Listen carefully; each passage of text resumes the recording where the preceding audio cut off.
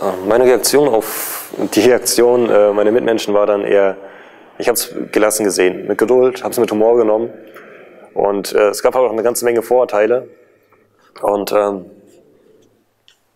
wie gesagt, ich habe es dann, habe mich dann selber darüber lustig gemacht, habe mit den Vorurteilen gespielt. Und äh, die Menschen haben nachher von alleine erkannt, dass die Vorurteile an sich haltlos waren. Und ähm, ich habe ganz einfach versucht, den Islam besser zu leben. Und danach haben die Menschen aber festgestellt, okay, der Eindruck, den, den wir zuerst hatten, war dann doch falsch. Und sie haben dann erkannt, dass es, dass die Vorurteile einfach falsch waren. Und die Aktion war dann ganz einfach auf beiden Seiten dann eher positiv.